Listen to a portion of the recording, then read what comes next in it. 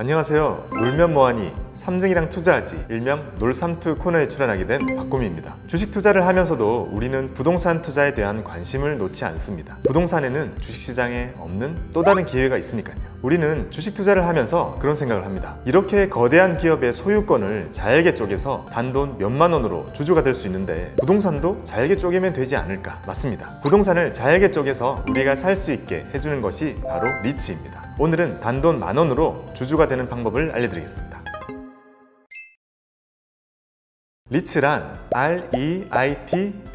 여기서 S는 꼭 소문자로 적으셔야 돼요. Real Estate Investment Trust의 약자입니다. 여러 사람의 투자금을 모아서 부동산에 투자하고 그 부동산에서 나오는 수익을 투자자들에게 나누어 주는 회사를 말합니다. 우리는 이런 리츠라는 회사의 지분을 주식처럼 사기만 하면 그런 큰 부동산에 간접적으로 투자를 할 수 있는 것입니다. 우리나라의 리츠 시장은 계속해서 성장하고 있습니다. 미국에서는 1960년도에 도입되어서 이미 자리 잡은 무르익은 시장인데요. 우리나라의 리츠 시장은 이 그림처럼 쭉 성장해 오고 있고 최근 들어서 더 높은 성장을 보여주고 있습니다. 그 누구도 부정할 수 없는 확실한 대세라고 할 수 있습니다. 현재 리츠 시장의 규모는 50조 원이 넘고 2018년 기준으로는 219개의 리츠가 만들어져서 운영되고 있습니다. 이 중에 7개는 우리가 바로 살 수 있도록 주식시장에 상장되어 있습니다. 리츠의 첫 번째 장점은 소액으로 부동산에 간접 투자할 수 있다는 것입니다. 부동산은 건물이잖아요. 아무리 작게 만들어도 이만하겠죠. 만약 건물의 가치가 오를 것 같다고 해서 직접 투자를 하려고 한다면 억 소리가 납니다. 게다가 오피스 빌딩이나 백화점 이런 건 수천억에서 수조 원에 이르죠. 이런 부동산에 소액으로 간접 투자할 수 있도록 해주는 것이 리츠입니다. 우리가 쉽게 접할 수 있는 상장되어 있는 리츠들을 보면 그 속에는 어마어마하게 비싼 건물들이 들어있지만 한 주의 가격은 큰 부담 없이 살 수 있는 수준으로 낮게 형성되어 있습니다. 이것이 큰 부동산을 잘게 쪼개서 거래할 수 있게 해주는 리츠의 장점이라고 할 수 있습니다.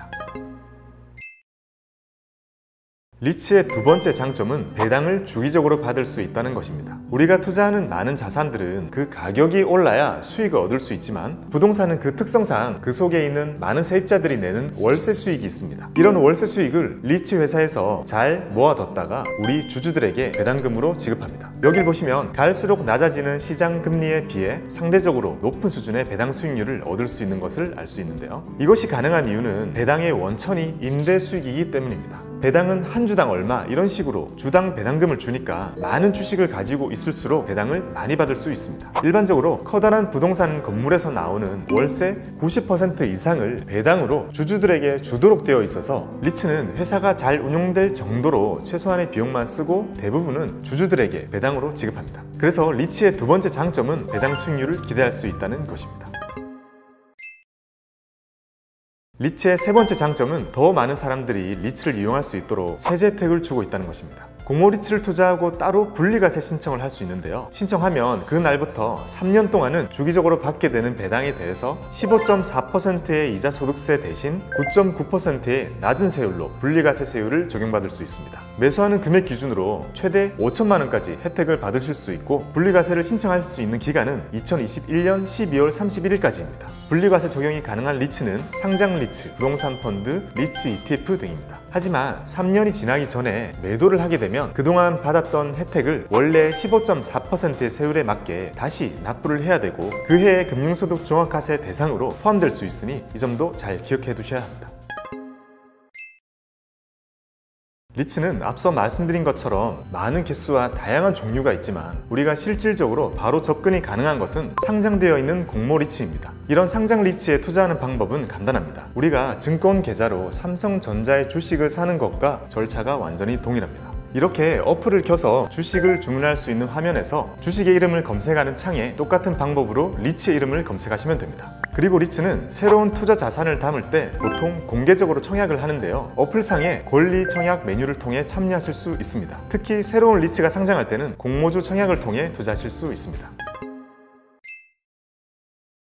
삼성증권은 갈수록 커져가는 리츠 시장에 대해 투자자분들이 투자를 하시는 것에 도움이 될 수 있도록 quality 높은 리츠 관련 분석 자료를 제공하고 있습니다. 또한 삼성증권은 부동산 펀드, 공모리츠 등 상품을 다룬 사례가 많기 때문에 부동산 투자 상품에 대한 전문 인력들이 많이 있습니다. 이렇게 리츠를 잘 활용하면 크지 않은 금액으로도 큰 부동산에 투자한 효과를 볼 수 있습니다. 좋은 부동산을 담고 있는 리츠를 잘 선택하여 안정적인 배당을 받으면서 멀게만 느껴졌던 부동산 투자의 간접 경험도 해보시기 바랍니다. 여러분들의 성공 투자를 기원합니다. 감사합니다.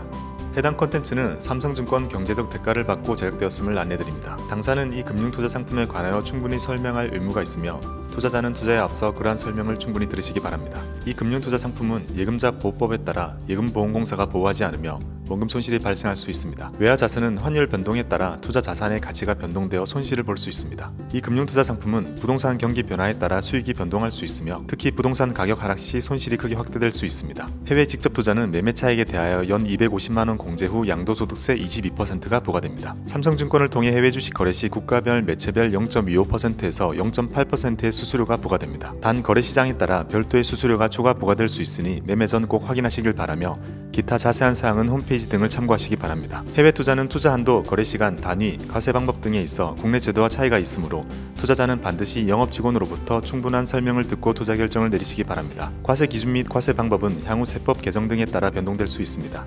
해외 상장 ETF 매매 결제를 위한 현지 재비용, 브로커 수수료 등은 별도 징수됩니다. 해외 주식 투자는 출금 요청 시 현재 거래소 사정 및 환전 등으로 인하여 긴급 출금 기간이 소요될 수 있습니다. 과거 수익률이 미래 수익을 보장하지 않습니다. 리츠는 부동산 하락 시 부동산 경기 변화에 따라 수익이 변동할 수 있으며 특히 부동산 가격 하락 시 손실이 크게 확대될 수 있습니다. 삼성증권을 통해 주식 ETF, ETN 거래 시 거래 금액과 매체에 따라 거래 금액의 0.077216%에서 0.497216%가 수수료로 부과됩니다. 기타 자세한 사항은 홈페이지 등을 참고하시기 바랍니다.